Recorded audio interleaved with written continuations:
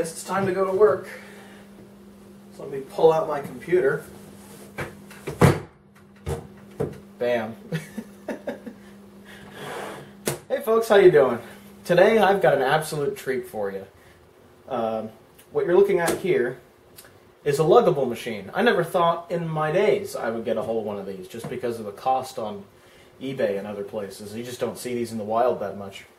I thought the closest we'd get on this channel was taking a look at Grateful 42's broken Compaq portable, which was still interesting to look at. Um, I, I, feel like um, Grateful 42 and I are due for another video of that thing. Now that I have this, uh, um, we both have luggable machines, so you know something to that effect had happened. But before I get even get into that and get completely sidetracked, here we have a special one. I don't know if you can see that there on the camera, but that's it says IBM portable personal computer. Yes, this is an IBM 5155. This was IBM's first luggable machine that I know of.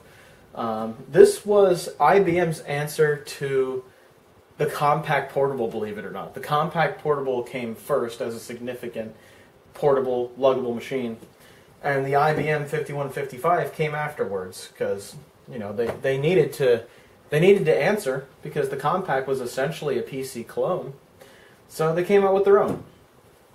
And the way they did it, I actually really like. Uh, the case design is much sturdier than the Compaq. It's not made of all this really brittle plastic and it doesn't creak and all that stuff all the time. Uh, the handle on the IBM is very nice. It's a nice thick metal handle so you can pick it up pretty easily and be confident that the handle will work and your computer won't drop off and fall down. Um, and overall, it's thinner than the Compaq portable as well. I should turn it sideways so you can see that. It's a pretty thin computer. Uh, the Compaq portable, I'd say, was about up to there, maybe like about to there, maybe a little bit, a little bit bigger than this. This is a very thin machine, so it was a very, it was a much lower profile computer than the Compaq portable. So, in my opinion, this is a better computer than the Compaq portable in just about every way. But that doesn't mean there weren't caveats when it was new. Back in the day, the Compaq portable was a fairly inexpensive machine for the time, whereas this IBM was much more expensive at the time and came after the Compaq portable. So if I was a consumer back then wanting to buy a portable computer, why would I choose the IBM when I know the Compaq had been around and I'd seen the pricing already, and then this comes out and it's way higher. Um, so it was just a, it was a really weird uh, choice to bring this onto market for a more expensive price after the more inexpensive Compaq portable came out. I think that was a mistake on IBM's part, and that's probably why this machine didn't sell very well, as nice as it is. And we'll get into how nice it is in a little bit. Now, as you heard, I plopped it on this desk here, and it just kind of shook the whole desk. I don't think that's as impressive as uh, in the Maritime Girls video where she drops it on the floor and it shakes the camera. Basically, shakes the house. But uh, these things are these things are pretty heavy. I mean, in the 80s, you must have had to have been built to carry this thing around in the airport and to your office and whatnot all the time. You would have had some some muscles up there, man. Uh, if you didn't have them before, by the end of the year, by the end of that year at work, you'd definitely have a strong shoulder. I'll tell you that. But there you go. That's sort of an introduction to the IBM portable personal computer 5155. It's basically a portable version of a 5160. It uses the same motherboard as an IBM 5160, so it's an XT machine. Uh, it has an 8088 CPU. Uh, I've put an 8087 Math coprocessor in it. Uh, it. This has 256 megs of RAM on the board. I put a Lo-tech 1 megabyte RAM card in here to bring it up to the full 640K. Uh, it has a CGA video card, but it's a CGA video card that's hooked up to a monochrome monitor. Um, and it also has a serial and parallel card in it as well. In fact, let's just take a look at that. So, let me. Oh. A bit of a big computer, and it has these rubber feet on the bottom, so you can stand it on its back and it won't completely ruin your floor. Now, as most of these luggables did, you open it up and you discover that the keyboard is the bottom of the machine itself.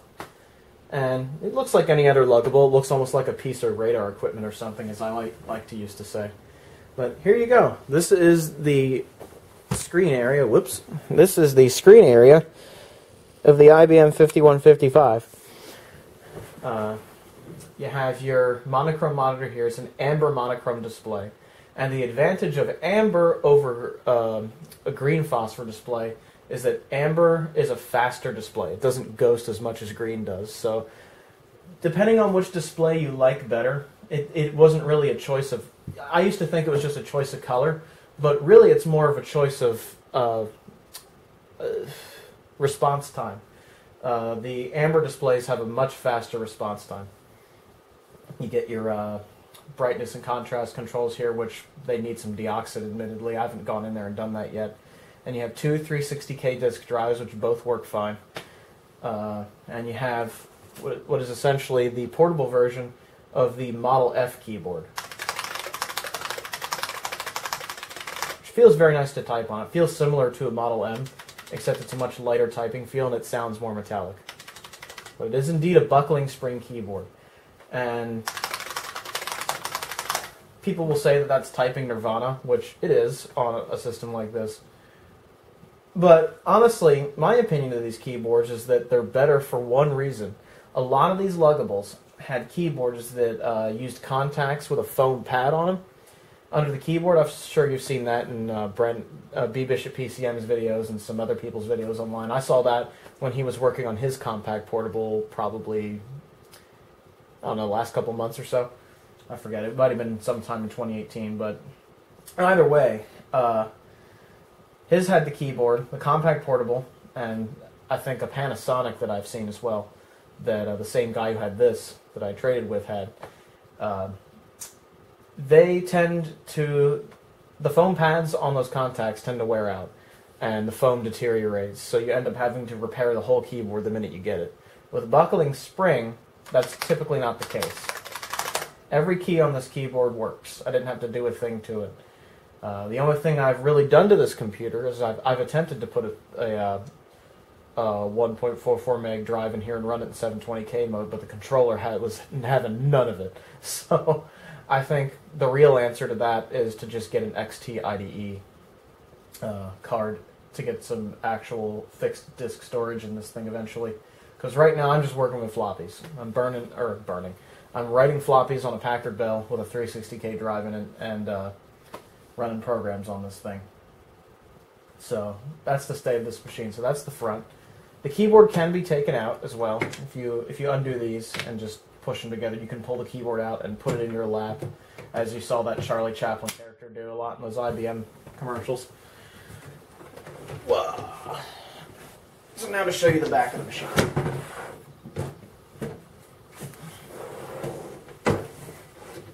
Okay. On the back of the computer, you got to be careful with this because this, this lid's in two pieces and they like to come they like to come out.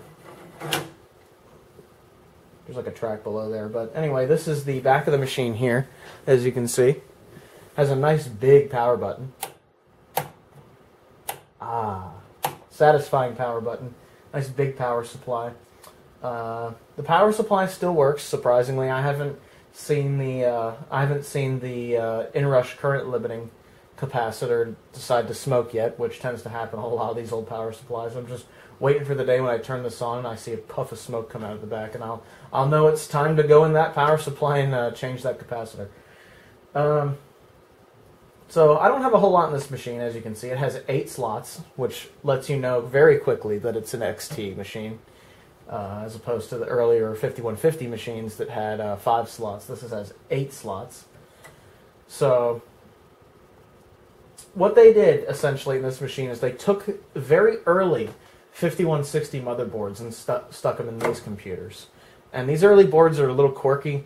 Um, you could theoretically replace the board with a later revision if you wanted to. Like, uh, you would probably want to do that if you were going to install an IBM, not an IBM, if you're going to install an NEC V20 in one of these machines, because these earlier boards don't like those very much.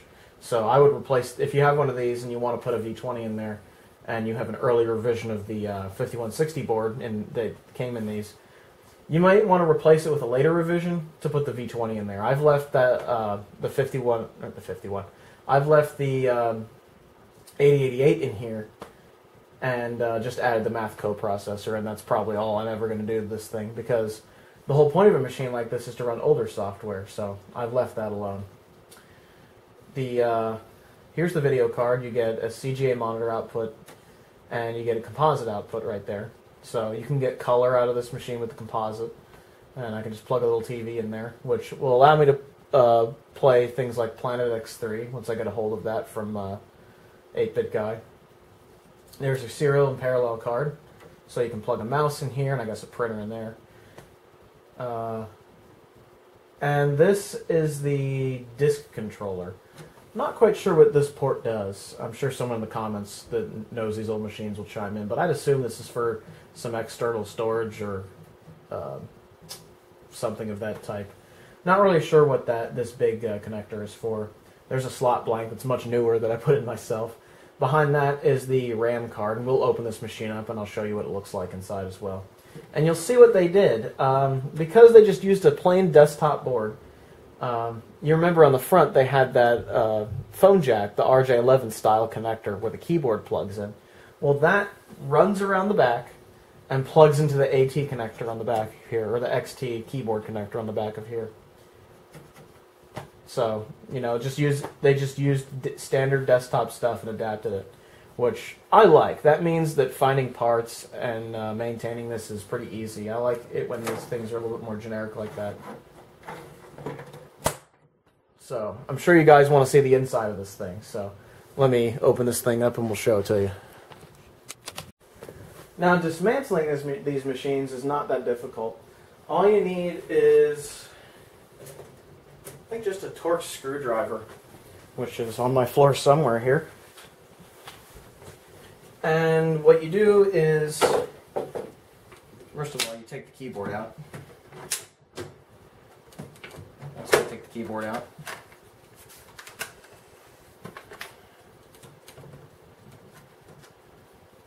There's your phone jack style connector, which converts to the XT keyboard connector keyboard out of the way. And what you do is there are, see if I can balance this. There are three screws on the bottom and three screws on the top here, but under these ridges. And you just unscrew those, and the back comes right off. So it's pretty easy to do. You just have to know where the screws are, and you should be fine. I've, I've used a Torx screwdriver to do this in the past, and that should be all you need.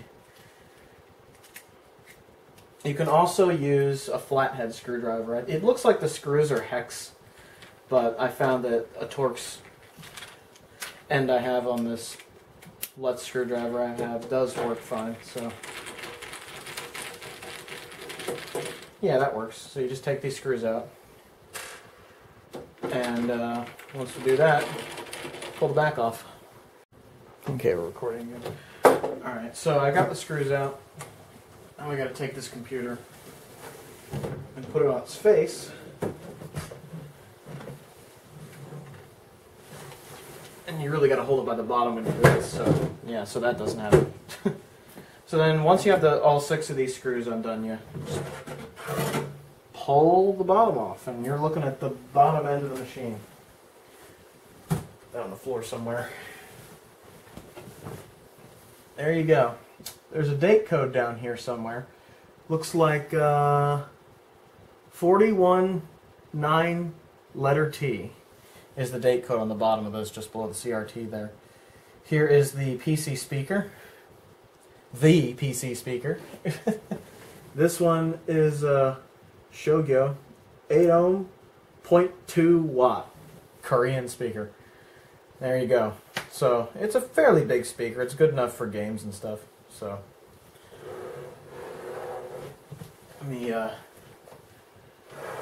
turn this thing back again.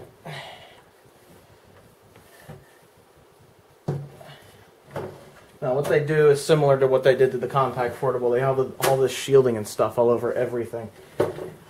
And they used flat blade screws for those, which is annoying. I dislike flat blade because it's so much harder to deal with than something like a Phillips or a GIS screw. So, to get to the cards and all that stuff, you have to take this cage off, which has a screw near the back of the PCI slots here. There's another one on the top here. And then there is another one on the bottom, right under there. There's a little screw down there. Once you have those three screws off, you can just take the shield and pull it right off. And then you have access to the disk drives and the controller cards and all that stuff. So let's take a look at what's in this computer, shall we? Let me get this thing off the tripod.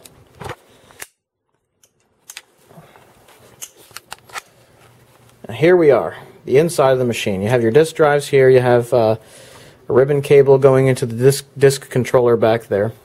So this is your big disk controller. Uh, it's just a looks like to me it's just a 360k disk controller, which leads me to believe that maybe that's for an external drive on the back. I have no idea. I'm not the most knowledgeable in 80 systems because this is the first one that I've really had. Now you have your two disk drives here. These are original to the machine. And down here you can see the CPU and the coprocessor. Turn my camera around here so you can see it right side up. There you go. There is the 8088, which is an AMD one, believe it or not. So, Team Red, man. and uh, this is the math coprocessor that I installed which is looks which is an original Intel one with that little gold thing on it, which looks kind of neat. Looks really 80s. Um, there's the power supply connectors there. All the RAM is underneath the cards and stuff over here. Let's see if I can get a view down there. You can see those RAM chips hiding under there. All the RAM chips are good, which is nice. Uh, there's your CGA video card right there. It's the original uh, IBM one. It says color graphics on it right there. Unfortunately, the monitor is not color. And here's a serial and parallel card that was put in here. I don't know how original this is. It might it might have come with this. I'm not sure, but that at least allows me to use a mouse and possibly a printer. And look at all this room for expansion. The only trouble is, as you can see, the disk drive sort of budged right up against the slots there. So you're limited to short cards like this RAM expansion that I've put in here. This is a Lo-tech one megabyte RAM board, and uh, I have this set up to give me the full 640k. Since going above 640k on a machine like this is pretty pointless. if this was something like a 286, maybe, but eh, in a computer like this, you really don't need much more than 640k. And I know what you're going to say. Now, the interesting thing is there's a trim pot down there, as you can see. I wonder what that's for. My pure dumb luck guess is that that is for the volume of the PC speaker. Um, but I'm not sure. Don't quote me on that. But this is a standard IBM 5160 XT motherboard. So if the board like this ever goes bad in your IBM, you can replace it. No big deal. So that's what the inside of the machine looks like and what it's like to work inside. There's a lot of protection and a lot of stuff going on in there. So mostly everything in here is all original to the way I got it, apart from this RAM expansion board. So that this at least lets me run more software. So that adds to the 256K that was already on the motherboard. So there's not much to see under the CRT. I don't know who makes the tube or anything like that, and I don't really want to undo it to find out.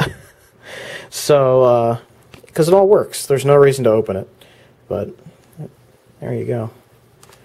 There's at least some stuff back here. The power supply is made in Mexico, but the computer was made in the USA. And there you go. And there's that. Uh, here's that connector plugs into the keyboard. It's literally, literally they just used an AT connector, or an XT connector in this case, I guess, and just plugged it straight in, and then converted that to uh, that RJ45 type connector, which I don't think is RJ45, but it's the same, you know, connector. Anyway, that's the inside of the machine. Let's button this thing back up and I'll show you some programs. Okay, this thing's buttoned back up. Now, as you can see from inside that machine, it, it it's a hell of a lot easier to uh, work on one of these, or at least it's easier to get into one of these than it is the Compaq portable. The Compaq portable is a battle fortress inside, full of plates and covers and stuff. Whereas this isn't nearly as bad as that. This is just like a, the the top cover and a little bit of shielding. That's about it.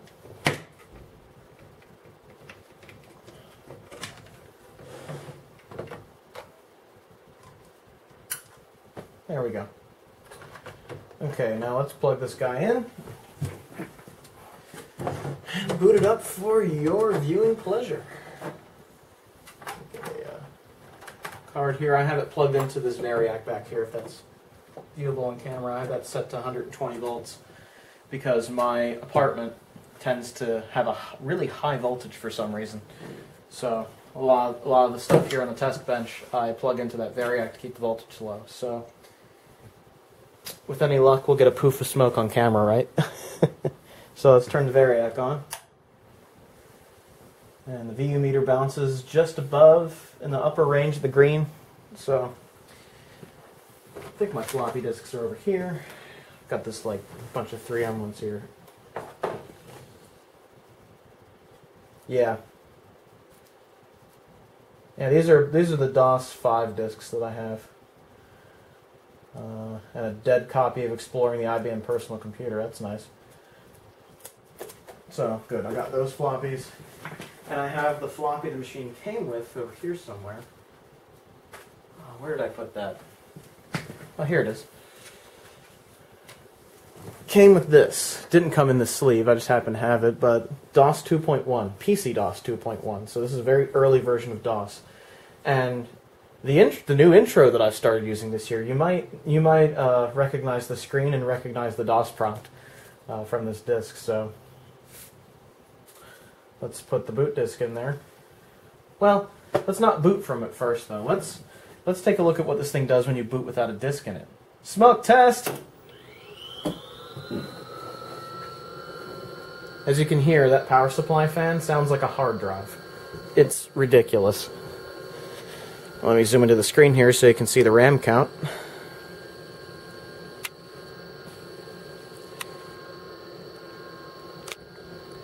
Stupid tripod, come on. Cooperate. There you go. See, it's counting past 256 because that RAM because that RAM card I put in there. It takes a while, a while to uh, count all this RAM.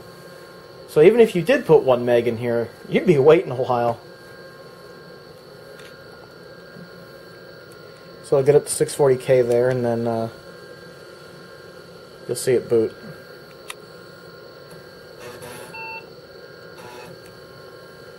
And there you go. It'll try to read the drive for a while. But then it goes into basic. And you know what that means.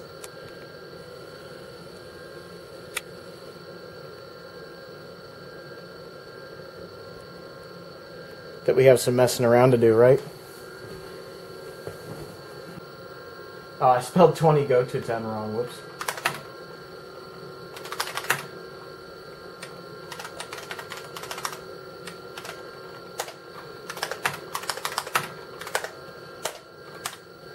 There you go. Flicker, flicker, flicker, flicker. No, I think you hit F2 again to stop it. What's it? F8.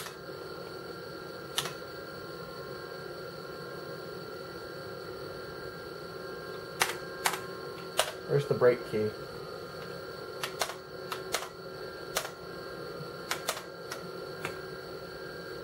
Control break? There we go.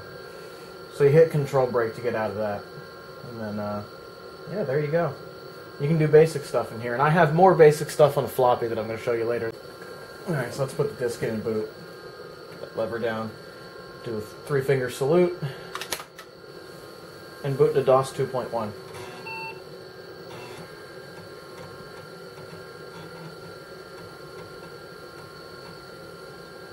Current date is enter. and there you go. It's IBM PC DOS.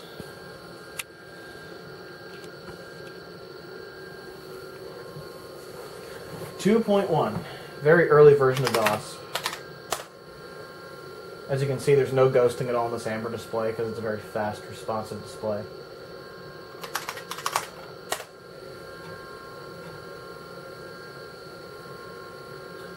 There you go. There's your check disk right there. You have uh, there's 640k RAM there, and there's 625 free at the moment. Anything else on this disk that's worth looking at? Eh, probably not. There's not a whole lot on DOS 2.1, I'll tell you that. So I think what we should do is play some games. So let me uh, get some different floppies out, and we will have a good old time. So I think this is the DOS 5 startup disk I have, so let's see what this one's all about.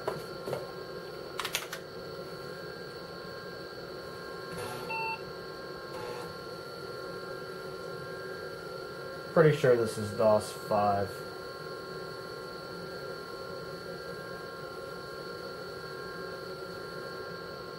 Wow, maybe I'm wrong. Oh, you know what helps? It's to put the lever down the disk drive. The things you forget. this is not a quiet computer by any means.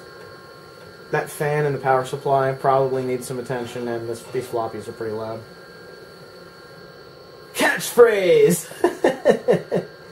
yeah, that was something that um, uh, Nilbud, you might remember from uh, some of my older videos, or or my other videos, retro software with Dave.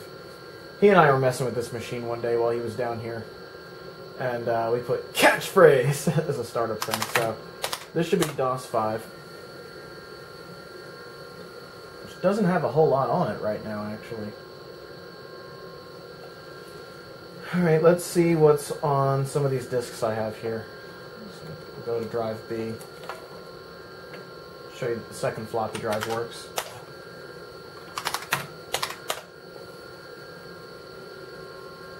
And that's Alley Cat.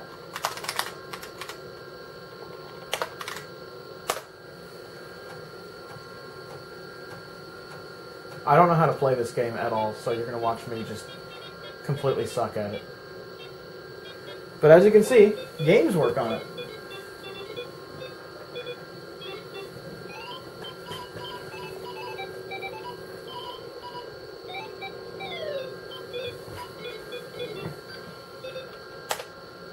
Do you want to use a joystick? No. I'm a kitten. I'm terrible. Uh, pause mode. Oh, come on, man. Come on. Use the use the cursor keys to control the cat. Use the Alt key performs special actions. Okay. So, arrow keys are on in the numpad on the old 84 key keyboard. Okay, jump is up. see how bad I am at this game.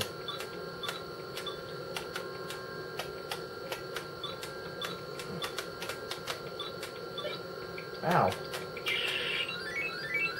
Aw, cat fight.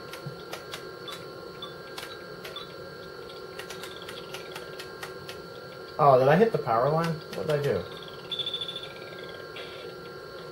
What? I'm so confused.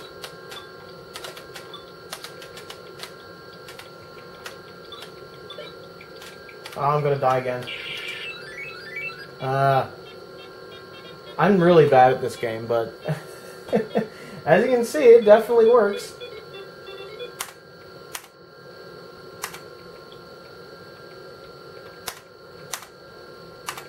I forget how to quit, so I'm just gonna reboot. Catchphrase.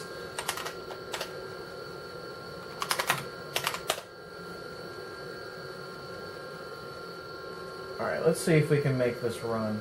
Uh, I want to say IBM Bio.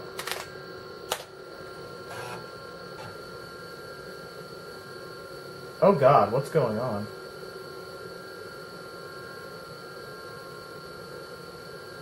That's very interesting. I think I crashed the computer. Yeah, I crashed the computer.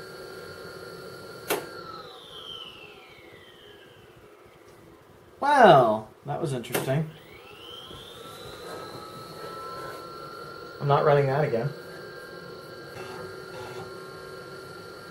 Okay. Let's go to drive B.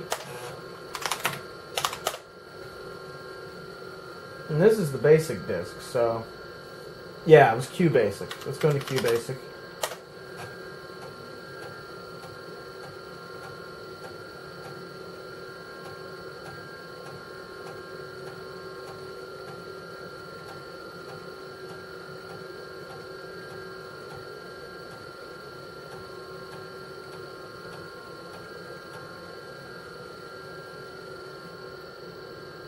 Look at that.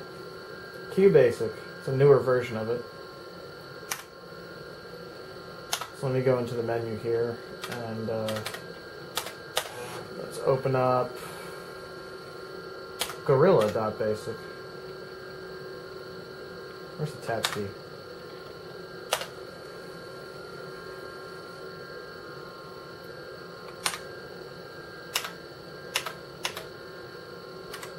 Yeah, select that one and open that.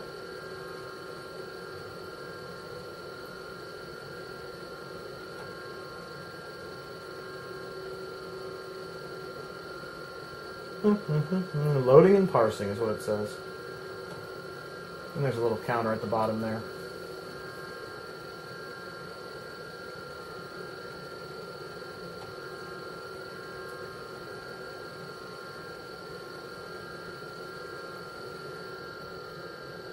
QBasic Gorillas. Your mission is to hit the opponent with the exploding banana by varying the angle and power of your throw.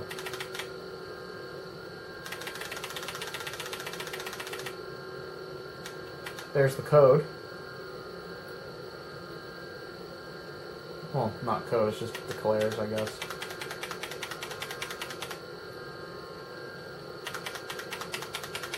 Yeah, there you have it. So why don't we go over to run and see what we can do.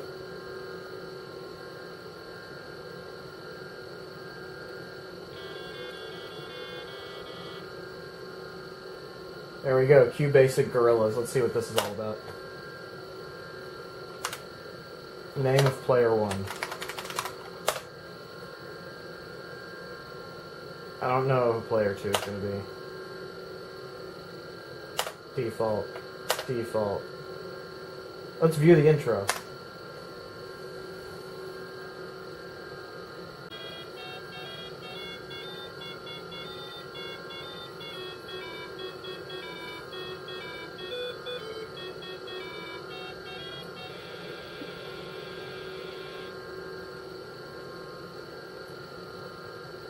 The city looks pretty good though.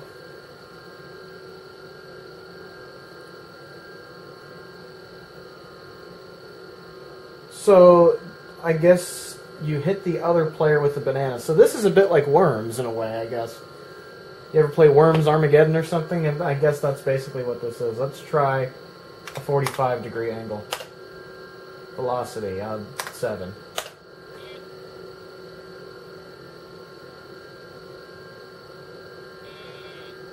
I literally killed myself with a banana. Guys, like that, that, that, that. you can see how slow this 8088 is. How it just keep just draws the, the graphics on the screen. Although in basic, it's pretty loose to call these graphics, I guess. Okay, let's see if I can do this as player two. Okay, let's do a 70 degree angle with a velocity of 150. That's a little better. You can see that banana just going way high.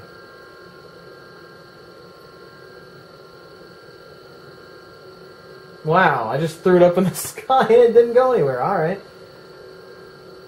Let's do a 60 degree angle with 80 velocity and see what happens.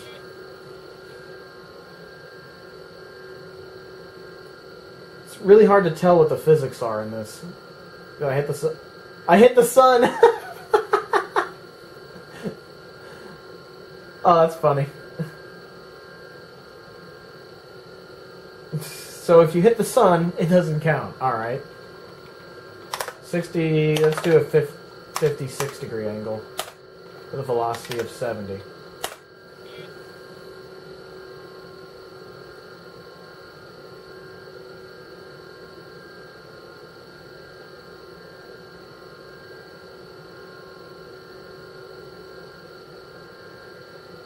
Uh, is it going to come back down? Yeah, maybe not. This this game is a little weird. It's almost like you need to know physics properly. I don't know, man. 56 seemed like a good angle, so I'm going to try the velocity of 40.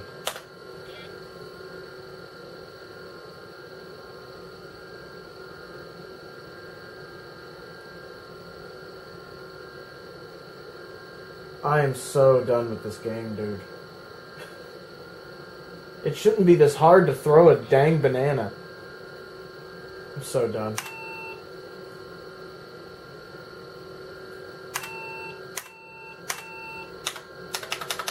Alright, let's reboot out of that. Well, that was an example of a QBasic game. There's another one that's a bit like Snafu. Okay, so this is a money manage management software, so this is something probably a little more IBM, as it were. So let's see what this looks like.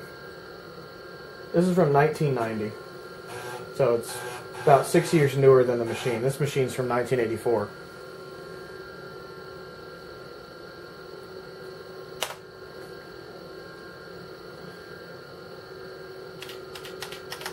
Okay, so I don't have any accounts at the moment. There you go. There's a uh, account title. Checking. Description. Money. Stuff. Man. I don't know what A and L means, so I'm just going to put A.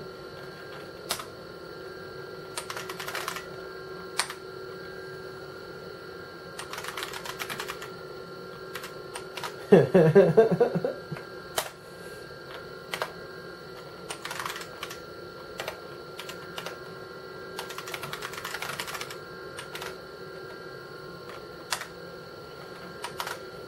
there you go. It's a bit like a, a ledger type of thing, I guess. So you can just make account titles. So A is asset, L is liability. So I made checkings an asset and savings a liability.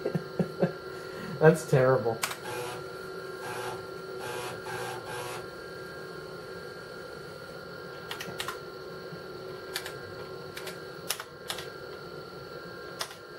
Transactions. So I've added a few accounts to it. Reports. Net worth report. So this is a super, super simple like finance program, which isn't much use to me when we have things like online banking and spreadsheet programs and stuff like that. Even back then there were spreadsheet programs, so not really sure why you needed all, all that kind of stuff. Now, one thing I got with this machine that was very special is DOS 3.3, both discs and the manual. I think we should give this a shot.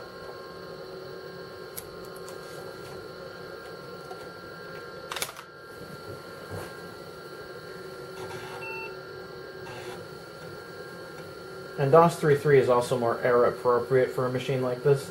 DOS 5 has a lot of useful stuff in it, but DOS 3.3 is definitely of the era. Okay. DOS 3.3. So let's go to the B drive. I believe there's some stuff on there that you're going to want to see.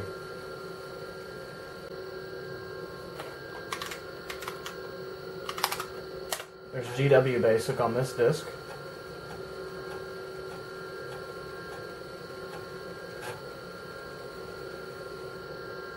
Which is your standard GW Basic thing. So.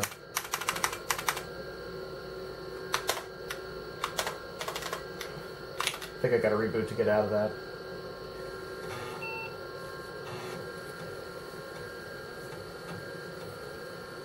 So you got your GW basic interpreter, which to me looks exactly the same as what's built into the ROM on the IBM in the first place.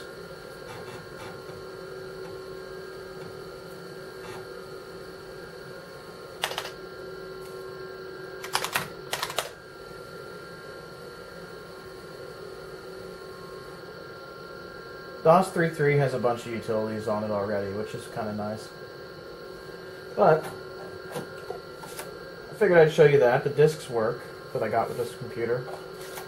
And uh, I've got full, fully functional copy of DOS 3.3, which is really cool to have, because I didn't have really any of this stuff until this trade I did. So I'm very thankful for the people that I meet doing this stuff.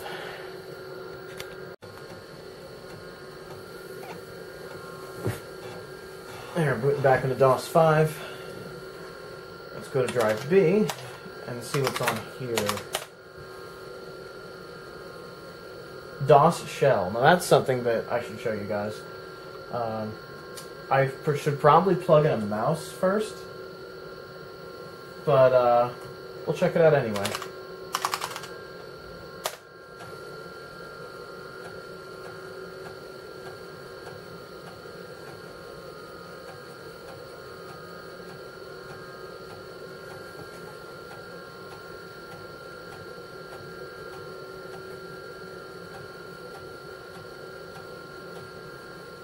Loading it. Slowly but surely. And there's DOS shell.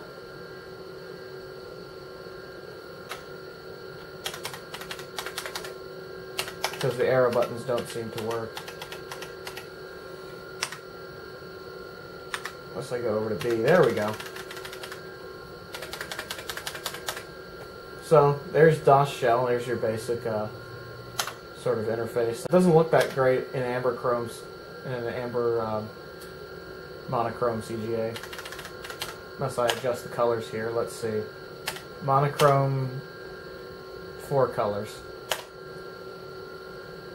That looks a little better. So you can adjust the color settings and all that stuff in these programs.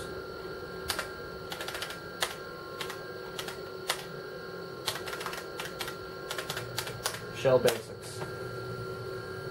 Huh. Yeah, the help file, of course, isn't on this drive, or on this disk. It's on another one. The real next step for this machine is to get an XT IDE interface so that I can plug a CF card or SD card adapter into this so that we can have just software on here, which is why I don't have too many games or floppies written for things like software. Most of the stuff is DOS 5, believe it or not. Uh, supplemental disks, uh, other disks, that's really all we got. So I, I honestly don't have a whole lot. But there you go. That is a uh, that is a first introduction to the IBM 5155 portable personal computer.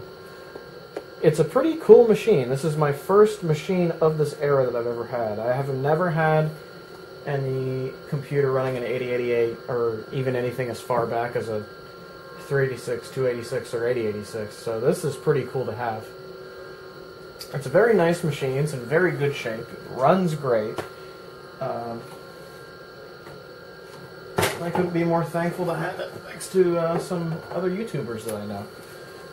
Put this DOS disk away somewhere. there you go. Uh, I wish I had more software to show you, but uh, I think like I kept saying before, that I really need to get an XT IDE fixed disk storage device for this thing so that I can put all of it on here and we aren't stuck with, you know, money managers and basic programs and that one floppy Alley Cat that I have because we had made more. Uh, Dave and I had made more, but unfortunately, I think we were using that one disk for all of it. So I don't have the computer that writes floppies out right now but this this is enough of a demonstration to show you sort of what the machine can do and all the stuff I have for it so far and um, what it's all about. So I think that we will leave other software for future videos so that we can bring this thing out. Because after all, that's what I wanted this thing for, so that we can mess with old software. And once I have fixed disk storage, it's going to be a lot easier and a lot more convenient to do that in video format. So once I have that all together, you'll probably be seeing more of this machine. But I just wanted to introduce you to this thing. This beautiful, beautiful IBM 5155 personal computer. Wonderful, wonderful machine. I'm glad to have it in my possession. So thank you again, Kyle, for uh, doing this, this deal with me. Uh, this is definitely a fun thing to go back to the 80s and take a look at the early PC stuff. So we'll be looking at more software in the future. We'll be looking at the uh, XT IDE interface and installing it as well. So this is just an introduction to this IBM 5155, and there will be more to come on this machine in the future. If you'd like to reach me on social media, I'm available on Twitter and Reddit, as you'll find down below. And if you'd like to join our Discord community, there's also link, a link for that down below uh, too. So, anyhow, I hope you enjoyed this video, and have a good one, everybody. Tchau.